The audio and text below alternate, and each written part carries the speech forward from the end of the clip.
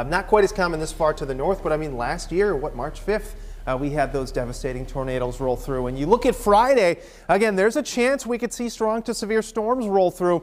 This is the map highlighting that bullseye, which right now sits in the eastern portion of the state. So really Grinnell eastward all the way down through St. Louis into Arkansas.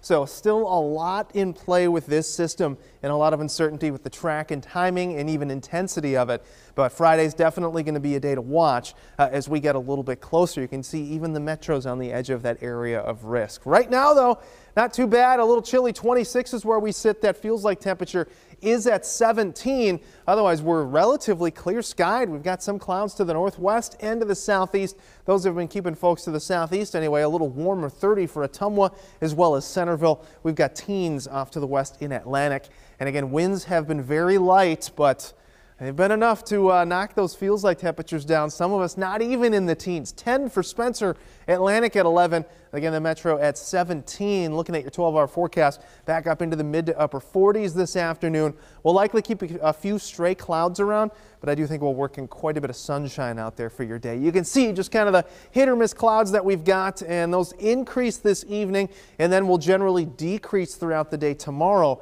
But heading in towards Wednesday, we'll have a chance for some folks to the north to pick up on more chances for snow looking light at this point, not looking like the nine inches that some of us saw um, over the weekend. But as we head throughout the end of the week here, you can see that next system taking shape, likely going to rain, maybe even storm for much of the day on Thursday. And then on Friday, again, a lot of uncertainty with this. You can see models putting the strongest area off to the east. The dry air, again, if that works its way in a little bit quicker and cuts this off, all these things we have to consider as we get a little bit closer to the to the end of the week. But definitely a day to keep an eye on for us uh, as we work our way there. Middle 60s Thursday and Friday. We are sunny on Saturday.